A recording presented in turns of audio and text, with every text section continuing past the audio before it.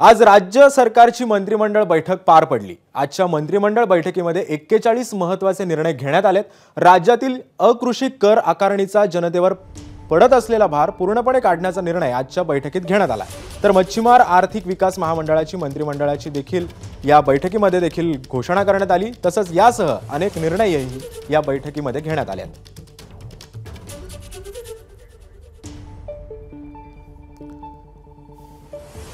आज कॅबिनेट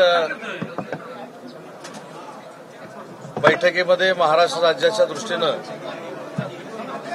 अतिशय महत्त्वाचे असे निर्णय झाले. आज कॅबिनेटनं ठराव मंजूर केला आणि या ठरावानुसार सुरुवातीला पन्नास कोटी रुपयाची तरतूद ही मच्छीमार कल्याणकारी मंडळाला करण्याचा निर्णय कॅबिनेटनं घेतला आणि त्याला मंजुरी दिली. दरम्यान आजच्या मंत्रिमंडळ बैठकीमध्ये कोणकोणते महत्त्वाचे निर्णय घेण्यात आलेत पाहूयात ग्राफिक्सच्या माध्यमातून. राज्यातील अकृषी कर पूर्णपणे माफ करण्यात आलेला आहे. दौंड येथे बहुउद्देशीय सभागृह नाट्यगृहासाठी शासकीय जमीनही मंजूर करण्यात आली आहे. तसंच त्र्यंबकेश्वर तालुक्यातील किकवी प्रकल्पाच्या कामास देखील मान्यता या बैठकीमध्ये देण्यात आली आहे. टेंभू उपसा सिंचन योजनेला स्वर्गीय अनिल बा- बाबर यांचं देखील नाव देण्याची मंजुरी या बैठकीमध्ये देण्यात आली आहे.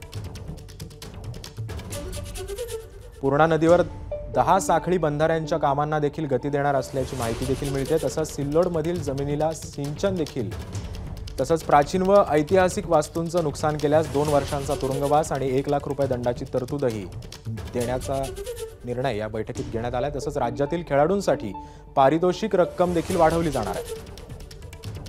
राज्यातील आणखी एकशे चार आय टी आय संस्थांचं देखील नामकरण करण्यात येणार आहे. संत भगवान बाबा ऊसतोड कामगार अपघात विमा योजना देखील राबवण्यात येणार असल्याची माहिती दे. लहान जलविद्युत प्रकल्पासाठी बांधा वापरा हस्तांतर हस्तांतरण धोरण देखील अवलंबण्यात येणार आहे. एबीपी माझा. उघडा डोळे बघा नीट.